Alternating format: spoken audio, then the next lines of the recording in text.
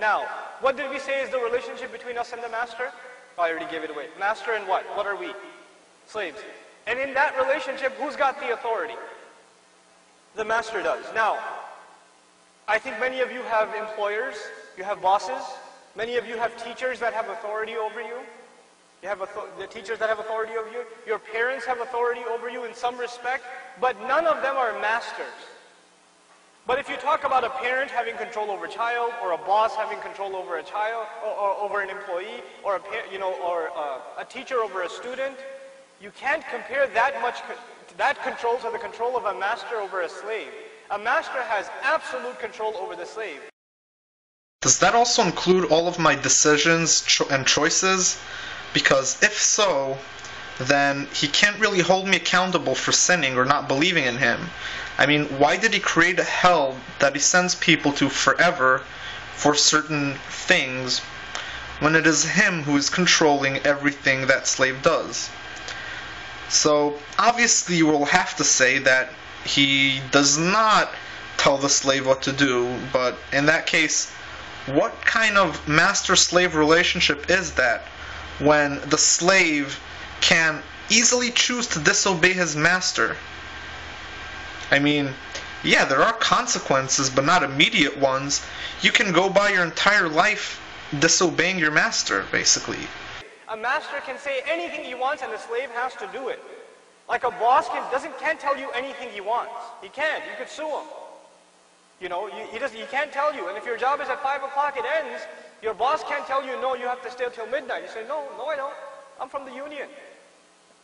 You know, talk to the local chapter. You know, you, they don't have, you don't have to listen to them at, at, after a certain point. But a master, when do you have to listen to them? All the time. Now, the, we understand that we have a master from the very beginning and we've been disobeying that master from the very beginning. Can't you at least be a little bit consistent? You just said about 15 seconds ago that the, the difference between a boss and a master is that you can disobey your boss whenever you want, but you have to listen to your master always. But now apparently you can also disobey your master whenever you want. So what the hell is the point in that analogy? He has absolute authority over us, and we've spent the bulk of our life disregarding his authority, disregarding completely his authority. And then at the end of all that disregard, he says, listen, all you need to do is be grateful to me. Be grateful to me and ask me to forgive you for all this disregard. I'll let it all go. Let me see if I got this straight. There's this entity who created me because he needed slaves. He wanted me to serve him and kiss his ass my entire life. And not only is he a master, but he's a brutal master and a dictator. He set up this extremely difficult set of rules that go against my nature as a human being, which he decided what that nature would be. Anyway, he set up this extremely difficult set of rules to follow. And if I violate any of them, or enough of them, he's going to torture the hell out of me. No pun intended. And not only that, but it's going to be forever. And forever is a pretty long time. But I'm supposed to be grateful to him. If you were born as a child whose destiny is to work in a sweatshop 18 hours a day for bread are you supposed to be grateful for the life that you've been granted? I mean, I can understand that there's a, a, a will to survive and to go through life even in spite the hardships, but should I really be grateful to him? And okay, if I disobey any of these strict rules, all I have to do is kiss his ass and say how awesome he is because he needs to hear this. He has a low self esteem or something.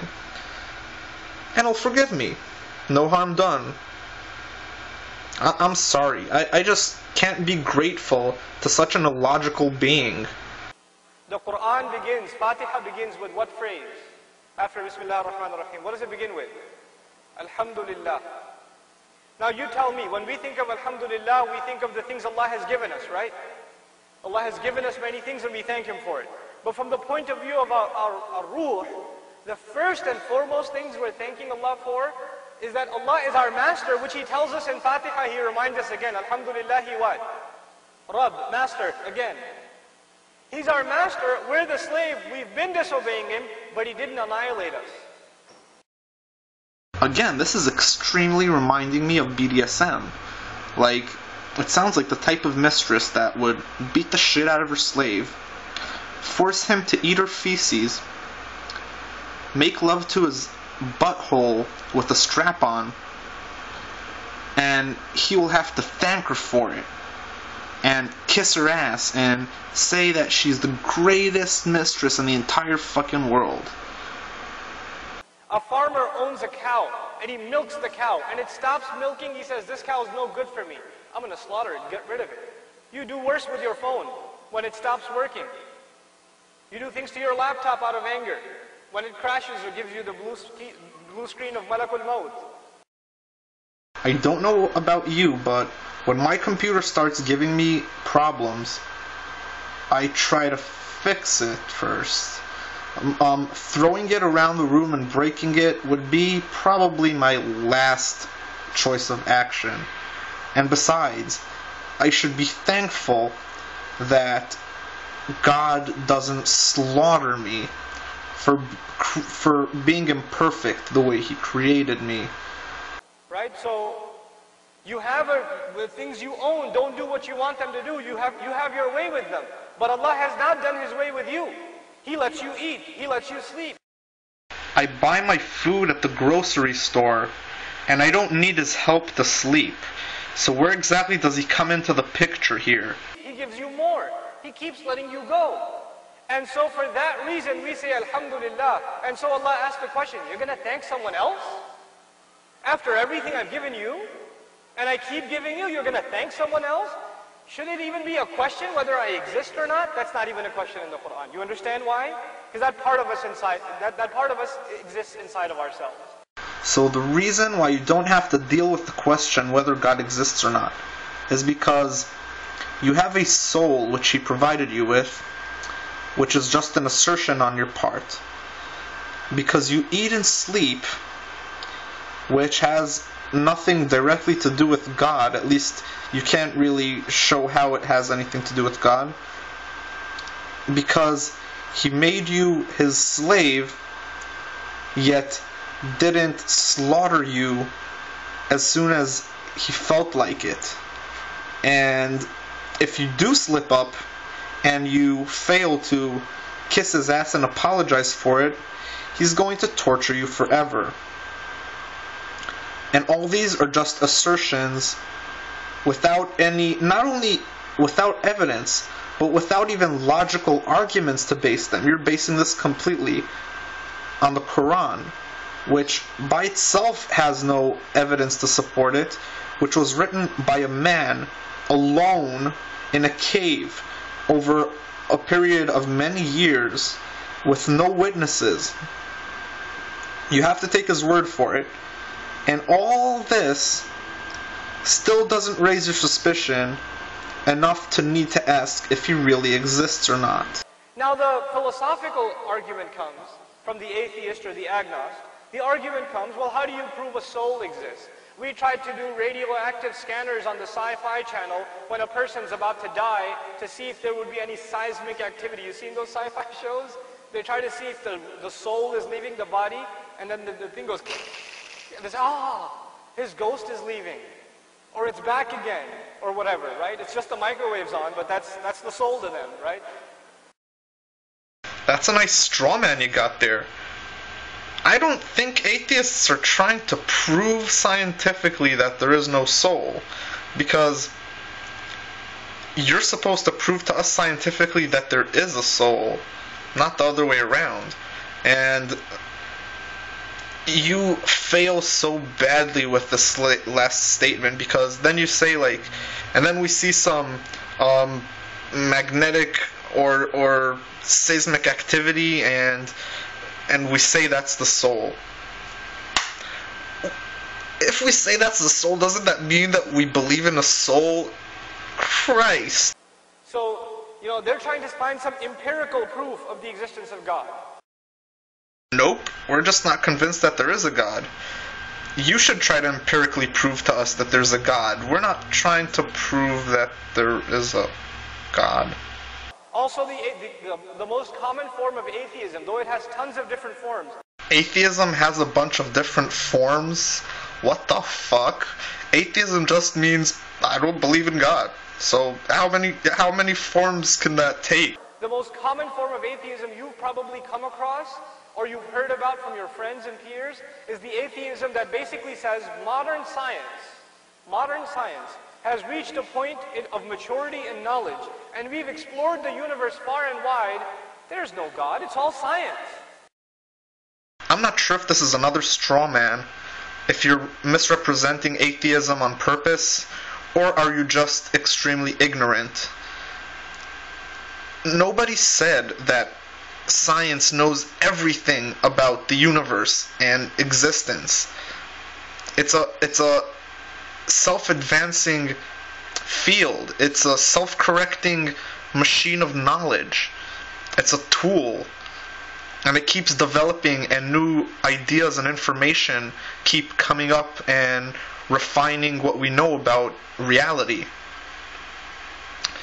At no point has any scientist said that they have all the answers and therefore God does not exist. Not only that, but atheism and science don't really have anything in common. Science is not the study of whether God exists or not. Science just comes here to explain how the world works.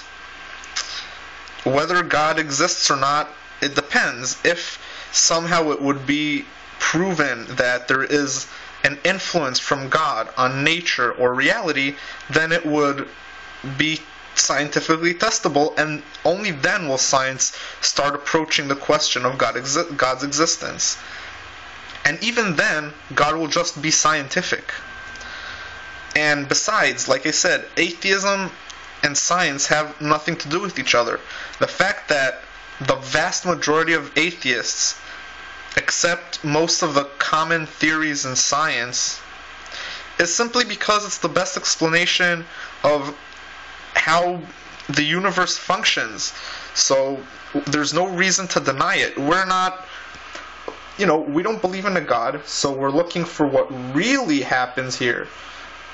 That's why so many atheists like science, admire science, and use science in their arguments, but it doesn't go the other way around. Science doesn't depend on atheism. Science has nothing to do with atheism.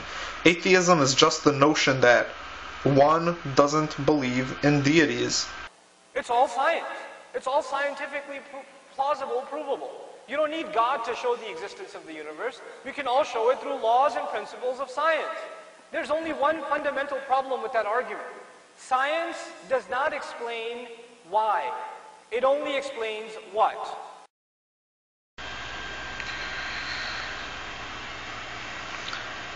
Why do you assert that why is a valid question to ask about the universe? Besides, it's not what, it's how. Why do you have to ask why? Why means that there is a purpose or a reason for the existence of the universe. And as far as we know, there is no reason. So nobody is asking why. Only theists will ask why because they already started with the conclusion that there is a reason for existence, that the universe is here for us, that that God created all this because he has some kind of plan. But we're not even asserting that, so why the hell should we ask the question why? It's not a valid question. It's like if you want to know how to get somewhere and you ask somebody who, it's just a pointless question that has nothing to do with the information you're trying to gather. It does not explain why. It only explains what.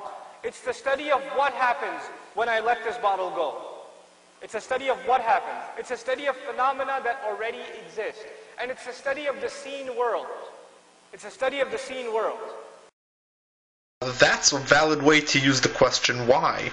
But in this case, science does explain why. Why is it that when you drop something, it falls to the ground? Because of gravity, which is something that, by the way, isn't really mentioned in the Quran at all. Anyway, that is a valid um, case in which you should ask why, but science also has the answer to that question.